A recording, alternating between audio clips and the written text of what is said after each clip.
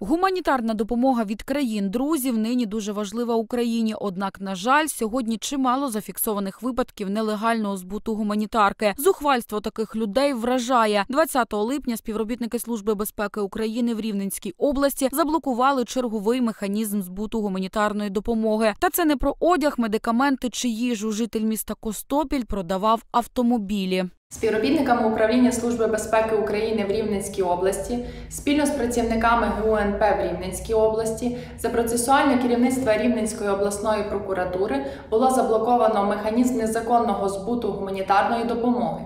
За даними слідства, від початку широкомасштабного вторгнення зловмисник встиг реалізувати понад 20 автотранспортних засобів за ринковими цінами. Схему організував місцевий підприємець, який офіційно здійснює послуги з перевезення автотранспортних засобів, а також їх технічного обслуговування. Увійшовши у довіру до місцевої волонтерської організації, зловмисник взявся доправляти в Україну автомобілі, які благодійники мали намір безоплатно віддати для потреб ЗСУ. Чоловік оформляв отриману гуманітарку на підконтрольне йому підприємство і таким чином переправляв авто через кордон. Та як тільки автомобілі опинялися в Україні, він продавав їх за ринковими цінами новим власникам, забувши про їх первісне призначення. Правоохоронці затримали горе продавця під час реалізації чергової партії гуманітарної допомоги, а саме чотирьох транспортних засобів загальною вартістю понад 22 тисячі доларів США. Під час особистого обшуку поліцейські вилучили у нього 21, 21 тисячу 600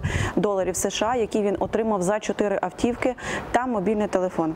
Крім того, слідчі провели санкціоновані обшуки за місцем роботи та проживання зловмисника. Відтак виявили та вилучили іще два позашляховика, е, задекларовані як гуманітарна допомога, грошові кошти та документи, що підтверджують незаконну діяльність чоловіка. Наразі вирішується питання про повідомлення 45-річному костопільчанину про підозру та обрання йому запобіжного заходу. Триває слідство для виявлення усіх обставин та причетних до протиправної схеми осіб. Співробітники УСБУ в Рівненській області нагадують, усіх, хто наживаються на війні та гуманітарній допомозі, буде виявлено та покарано. Ірина Жуковська, телеканал ITV.